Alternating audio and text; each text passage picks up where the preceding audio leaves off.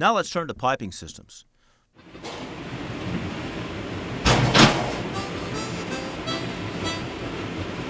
Are you sure you inspect these pipes every day? Yes, sir. I'm here every day, so I would know if there was an issue with my pipes. Are you, are you sure? I, I see like a leak start. What did you that idea, sir? I don't know. I- I don't know if you're being completely honest with me. Sir, there, there's nothing to see here. Let, us just move on to the next phase, sir. For this discussion, piping systems will include all installed valve, pumps, regulators, etc. Piping systems occur in almost every space on the ship, whether it's carrying cooling water to electronics equipment, drinking water to scuttlebutts, or fuel to main engines or boilers. Regardless, a properly operating system containing fluids should not have any leaks.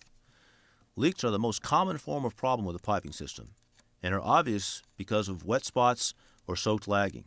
Trace every wet spot you see to its source and note it.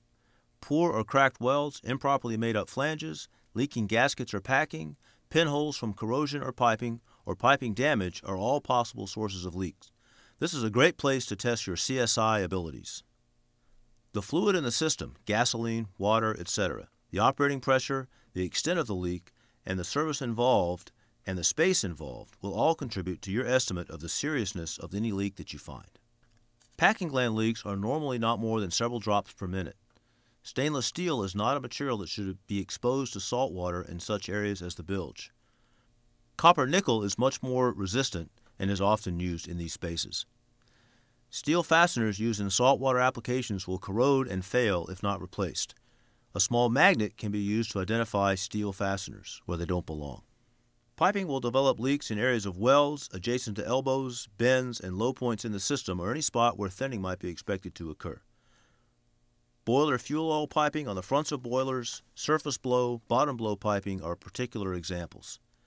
Piping flanges that are joined should be in parallel planes, and the fasteners should be of equal length and have equal amounts of threads projecting past the end of the nuts wherever the space permits. All nuts should have at least one thread projecting past the top. Pipes should be supported in pipe hangers where piping runs involve several feet of unsupported pipe. Piping can be stressed by being forced into improperly located pipe hangers. Piping noted outside of pipe hangers should not require a significant effort to reposition. If it does, it should be reworked or the pipe hanger removed if it is for small diameter piping. Major steam lines and other large diameter piping should be fit to the pipe hangers. Valves should all be marked to show their system and the direction of flow through the valve. Major valves should have a system identification number and should be included on the system operating diagram. A properly maintained valve will be clean and preserved. It will have a valve operator or handle attached. Its stem will be clean and straight, and there will not be any tool marks on it. The valve bonnet will be tight and level.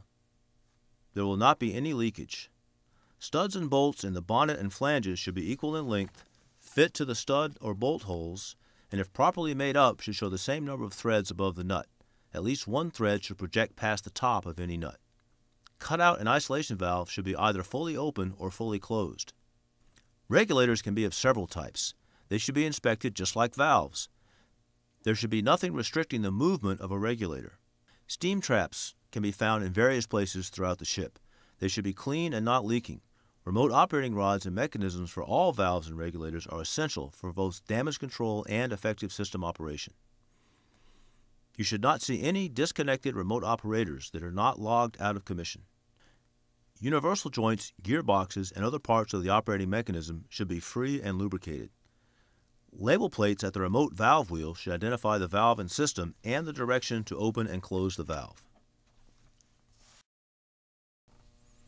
When looking at piping, look for flow arrows, system labels, damage control fittings, evidence of valve maintenance or leaks, verdigris and salt, and proper pipe hangers.